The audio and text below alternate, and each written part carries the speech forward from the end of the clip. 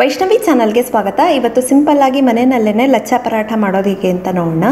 ಇದಕ್ಕೆ ಒಂದು ಕಪ್ನಷ್ಟು ಗೋಧಿ ಹಿಟ್ಟು ತೊಗೊಂಡಿದ್ದೀನಿ, ಒಂದು ಕಪ್ನಷ್ಟು ಮೈದಾ ಹಿಟ್ಟು ತೊಗೊಂಡಿದ್ದೀನಿ. ನೀವು ಬರೀ ಗೋಧಿ ಹಿಟ್ಟಿನಲ್ಲಾದರೂ ಮಾಡ್ಬೋದು, ಬರೀ ಮೈದಾ ಹಿಟ್ಟಿನಲ್ಲಾದರೂ ಮಾಡ್ಬೋದು. ಸೊ ನಿಮಗೆ ಯಾವುದಿಷ್ಟ ಅದರಲ್ಲಿ ಮಾಡ್ಕೊಳ್ಳಿ. ಹೋಟೆಲ್ಗಳಲ್ಲಿ ಬರೀ ಮೈದಾದಲ್ಲೇ ಮಾಡ್ತಾರೆ. ನಾನು ಎರಡು ಒಂದೊಂದು ಕಪ್ ತೊಗೊಂಡಿದ್ದೀನಿ. ಹಾಗೆ ಒಂದು ಸಣ್ಣ ಗ್ಲಾಸ್ನಲ್ಲಿ ಸ್ವಲ್ಪ ಬಿಸಿ ಹಾಲು. ಬೆಚ್ಚಗಿದ್ರೆ ಸಾಕು. ಹಾಗೆ ನೀರು ಕಲಸೋದಕ್ಕೆ ಇದು ಸ್ವಲ್ಪ ಬೆಚ್ಚಗೆ ಇದೆ. ರುಚಿಗೆ ಉಪ್ಪು.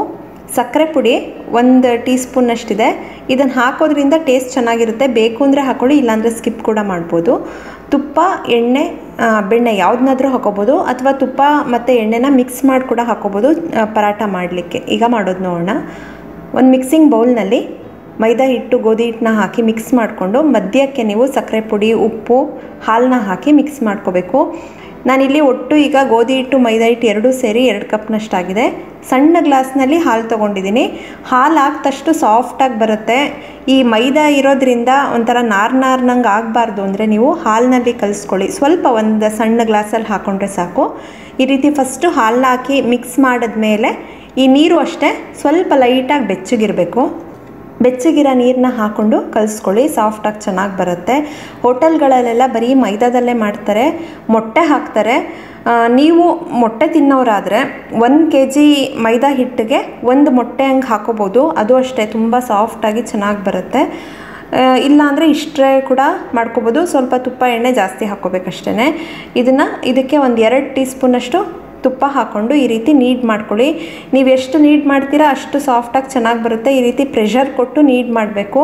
ಸುಮಾರಾಗಿ ಒಂದು ಎರಡು ಮೂರು ನಿಮಿಷನಾದ್ರು ಈ ರೀತಿ ಚೆನ್ನಾಗಿ ನಾದ್ಕೊಳ್ಳಿ. ಈ ರೀತಿ ಪ್ರೆಷರ್ ಕೊಟ್ಟು ನಾದ್ಕೋಬೇಕು. ನೋಡಿ, ಇದೇ ಕನ್ಸಿಸ್ಟೆನ್ಸಿ ಇರಲಿ, ಗಟ್ಟಿ ಇರಬಾರ್ದು.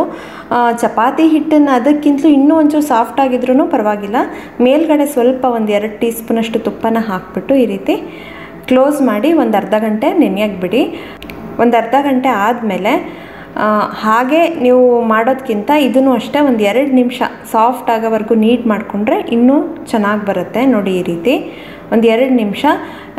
ಇದನ್ನು ಸ್ವಲ್ಪ ದೊಡ್ಡದಾಗಿ ಒತ್ಕೋಬೇಕು. ಹಾಗಾಗಿ ನೀವು ಸೆಲ್ಫ್ ಮೇಲೇ ಕ್ಲೀನ್ ಮಾಡಿಕೊಂಡು ಈ ರೀತಿ ಚೆನ್ನಾಗಿ ನಾದ್ಕೊಳ್ಳಿ ಒಂದು ಚೂರು ಎಣ್ಣೆ ಅಥವಾ ತುಪ್ಪನ ಹಾಕ್ಕೊಂಡು ಈ ರೀತಿ ನಾದ್ಕೋಬೇಕು ಇದನ್ನು ನೀವು ಮಾಡಿಕೊಂಡು ಫ್ರಿಡ್ಜ್ನಲ್ಲಿ ಇಟ್ಕೊಂಡು ನೀವು ಯಾವಾಗ ಬೇಕು ಅವಾಗ ಪರಾಠ ಮಾಡ್ಕೋಬೋದು. ನಿಮಗೆ ಮಾಡುವಾಗ ಟೈಮ್ ಇಲ್ಲ ಅಂದರೆ ಈ ಥರ ಮಾಡಿಕೊಂಡು ನೀವು ಯಾವಾಗ ಬೇಕು ಅವಾಗ ಫ್ರಿಡ್ಜ್ನಲ್ಲಿ ಇಟ್ಟು ಮಾಡ್ಕೋಬೋದು. ನೋಡಿ ಈ ರೀತಿ ನಾಲ್ಕು ದಪ್ಪ ದಪ್ಪದ ಉಂಡೆ ಮಾಡ್ಕೊತಾ ಇದ್ದೀನಿ. ಇಷ್ಟೇ ಇರಬೇಕು. ಎರಡು ಚಪಾತಿ ಆಗಷ್ಟು ನೀವು ಉಂಡೆ ತೊಗೋಬೇಕು. ಇದು ದೊಡ್ಡ ದೊಡ್ಡದಾಗಿ ಉಂಡೆ ಮಾಡ್ಕೋಬೇಕು. ಇದನ್ನು ಮುಚ್ಚಿಟ್ಕೊಳ್ಳಿ ಒಣಗಿಸ್ಬೇಡಿ.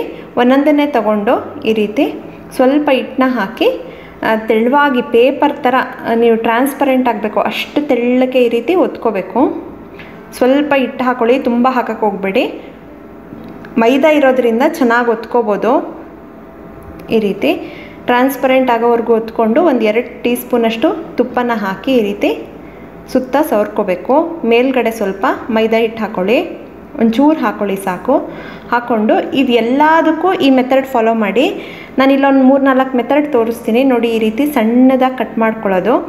ಇದು ಸ್ವಲ್ಪ ಟೈಮ್ ತಗೊಳುತ್ತೆ ಬಟ್ ಅಷ್ಟೇ ಲೇಯರ್ ತುಂಬ ಚೆನ್ನಾಗಿ ಬರುತ್ತೆ. ನೋಡಿ, ಈ ರೀತಿ ಚಾಕುನಲ್ಲಿ ಅಥವಾ ಕೈನಲ್ಲಾದರೂ ರೋಲ್ ಮಾಡ್ಕೊಂಡು ಬನ್ನಿ. ನೀವು ಈ ರೀತಿ ರೋಲ್ ಮಾಡಿ ರೆಡಿ ಮಾಡಿ ಇಟ್ಕೊಂಡು, ನೀವು ಮಧ್ಯಾಹ್ನ ರೆಡಿ ಮಾಡಿ ಇಟ್ಕೊಂಡು ರಾತ್ರಿ ಕೂಡ ಮಾಡ್ಕೋಬೋದು.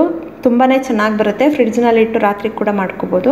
ನೋಡಿ, ಈ ರೀತಿ ರೋಲ್ ಮಾಡಿಕೊಂಡು ಮೇಲೆ ಸ್ವಲ್ಪ ತುಪ್ಪ ಮತ್ತು ಮೈದಾ ಹಿಟ್ಟನ್ನ ಹಾಕಿ ಈ ರೀತಿ ರೋಲ್ ಮಾಡ್ಕೊಳ್ಳಿ. ಈ ಮೆಥಡು ತುಂಬ ಚೆನ್ನಾಗಿ ಬರುತ್ತೆ. ಲೇಯರ್ ಸಕ್ಕದಾಗಿ ಬರುತ್ತೆ. ಮೈದಾ ಹಿಟ್ಟಿನಲ್ಲೇ ಮಾಡಿದ್ರಂತೂ ಇನ್ನೂ ಚೆನ್ನಾಗಿ ಬರುತ್ತೆ. ಈ ತುದಿನ ಕೆಳಗಡೆಯಿಂದ ತೆಕ್ಕೋಬೇಕು. ಸೊ ಇದನ್ನು ಒಣಗಿಸ್ಬೇಡಿ. ಒಂದು ಪ್ಲೇಟ್ನ ಮುಚ್ಚಿಡಿ. ನೆಕ್ಸ್ಟ್ ಅದೇ ಇನ್ನೊಂದು ಮೆಥಡ್ಗೂ ಅಷ್ಟೇ ಸೇಮ್ ಎಲ್ಲ ಮೆಥಡ್ಗೂ ತುಪ್ಪ ಮತ್ತು ಮೈದಾನ ಹಾಕ್ಕೊಂಡು ನೋಡಿ ಅರ್ಧರ್ಧ ಅರ್ಧ ಇಂಚು ಫೋಲ್ಡ್ ಮಾಡ್ಕೊಂಡು ಬರಬೇಕು ಈ ರೀತಿ. ನಾನು ಯಾವ ರೀತಿ ತೋರಿಸ್ತಿದ್ದೀನಿ ಆ ಥರ ಫೋಲ್ಡ್ ಮಾಡ್ಕೊಳ್ಳಿ. ಇದು ಈಸಿ, ಇದು ಅಷ್ಟೇ, ಲೇಯರ್ ಚೆನ್ನಾಗೇ ಬರುತ್ತೆ. ಇದನ್ನು ಸ್ವಲ್ಪ ಎಳ್ಕೊಂಡು ಮೇಲೆ ಸ್ವಲ್ಪ ತುಪ್ಪ ಮತ್ತು ಮೈದಾ ಹಿಟ್ಟನ್ನ ಹಾಕ್ಕೊಂಡು ಸೇಮ್ ಅದೇ ಥರ ರೋಲ್ ಮಾಡ್ಕೊಳ್ಳಿ. ಇದು ಕೂಡ ಲೇಯರ್ ನೋಡಿ, ಲೇಯರ್ ಮೇಲೆ ಬರಬೇಕು ಈ ರೀತಿ. ತೋ, ಕಾಣಿಸ್ತಿದೆ ಅಂದ್ಕೊತೀನಿ ಈ ರೀತಿ ಇದನ್ನು ಕೆಳಗಡೆಯಿಂದ ತುದಿನ ತೆಕ್ಕೊಳ್ಳಿ. ಇದನ್ನು ಅಷ್ಟೇ, ಇನ್ನೊಂದು ಮೆಥಡಲ್ಲಿ ನೋಡಿ ಡೈರೆಕ್ಟ್ ರೋಲ್ ಮಾಡ್ತಾ ಇದ್ದೀನಿ. ಸೊ ಇದು ಈಸಿ ಮೆಥಡ್ ಸ್ವಲ್ಪ ಲೇಯರ್ ಕಡಿಮೆ ಬರುತ್ತೆ ಇದು. ಬಟ್ ಈಸಿ ತುಂಬಾ ಈಸಿ ಇದನ್ನು ಸ್ವಲ್ಪ ಎಳ್ಕೊಂಡು ಈ ರೀತಿ ರೋಲ್ ಮಾಡ್ಕೊಳ್ಳಿ. ಈ ರೀತಿ. ಇನ್ನೊಂದು ಮೆಥಡ್ ತೋರಿಸ್ತೀನಿ. ಸೊ ಒಂದೊಂದು ಇಂಚಿಗೆ ಈ ರೀತಿ ಕಟ್ ಮಾಡಿಕೊಂಡು ಇದನ್ನು ರೋಲ್ ಮಾಡ್ಕೊಳ್ಳೋದು. ಯಾವ ಮೆಥಡ್ ನಿಮ್ಗೆ ಈಸಿ ಅನಿಸುತ್ತೋ ಆ ಮೆಥಡ್ ಮಾಡ್ಕೋಬೋದು. ಸೊ ಫಸ್ಟ್ ಮೆಥಡಲ್ಲಿ ಲೇಯರ್ ತುಂಬ ಚೆನ್ನಾಗಿ ಬರುತ್ತೆ ಫಸ್ಟ್ ಟೂ ಮೆಥಡ್ಸಲ್ಲಿ ಇದರಲ್ಲೆಲ್ಲ ಸೊ ಸ್ವಲ್ಪ ಬರುತ್ತೆ.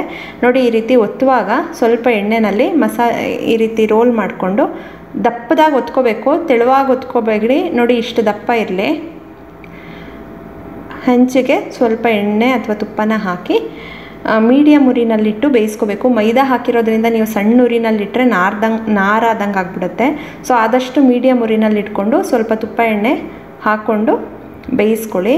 ನೋಡಿ ಲೇಯರ್ ಎಷ್ಟು ಕಾಣಿಸ್ತಾ ಇದೆ ಅಂಥೇಳಿ ಈ ರೀತಿ. ನೋಡಿ ಲೈಟಾಗಿ ಪ್ರೆಸ್ ಮಾಡಿದ್ರೆ ಲೇಯರ್ಸ್ ಎಲ್ಲ ಬಿಡುತ್ತೆ. ಇದನ್ನು ಬಿಸಿಲೇ ಈ ರೀತಿ ತಟ್ಕೋಬೇಕು. ಹೋಟೆಲಲ್ಲಿ ಒಂದು ಹತ್ತು ಹನ್ನೆರಡು ಒಟ್ಟೊಟ್ಟಿಗೆ ಪರೋಟ ಮಾಡಿಬಿಟ್ಟು ತಟ್ತಾರೆ. ಸೊ ಚೆನ್ನಾಗಿ ಲೇಯರ್ ಬರುತ್ತೆ ನಿಮಗೆ ಕಾಣಿಸ್ತಿದೆ ಅನ್ಕೊತೀನಿ ಲೇಯರು ಈ ರೀತಿ ತಟ್ಕೋಬೇಕು. ಅಷ್ಟೇ ತುಂಬಾ ಸಿಂಪಲ್. ನೀವು ಎಲ್ಲ ಪರಾಟನೂ ಇದೇ ಥರ ಲೇಯರ್ ಬರುತ್ತೆ. ಕೊನೆಯದು ಒಂದು ಎರಡರಲ್ಲಿ ಸ್ವಲ್ಪ ಕಡಿಮೆ ಬರ್ಬೋದು ಅಷ್ಟೇ ಅಷ್ಟೇ ಸಾಫ್ಟಾಗಿರುತ್ತೆ ಸೊ ಇದಕ್ಕೆ ನಾನು ಇವತ್ತು ಹೀರೆಕಾಯಿ ಗೊಜ್ಜು ಮಾಡಿದ್ದೀನಿ. ಅದ್ರ ಜೊತೆಗೆ ಸರ್ವ್ ಮಾಡ್ತಾ ಇದ್ದೀನಿ. ನೀವು ಕೂಡ ನಿಮ್ಮ ಮನೆಯಲ್ಲಿ ಈ ಪರಾಟನ ಟ್ರೈ ಮಾಡಿ ನೋಡಿ ಹೇಗಾಯ್ತು ಅಂತ ತಿಳಿಸಿ. ಮತ್ತಷ್ಟು ಈಸಿ ರೆಸಿಪೀಸ್ಗಾಗಿ ವೈಷ್ಣವಿ ಚಾನಲ್ಗೆ ಸಬ್ಸ್ಕ್ರೈಬ್ ಆಗೋದು ಮರಿಬೇಡಿ. ಈ ವಿಡಿಯೋ ಇಷ್ಟ ಆದರೆ ಲೈಕ್ ಮಾಡಿ ಶೇರ್ ಮಾಡಿ. Thank you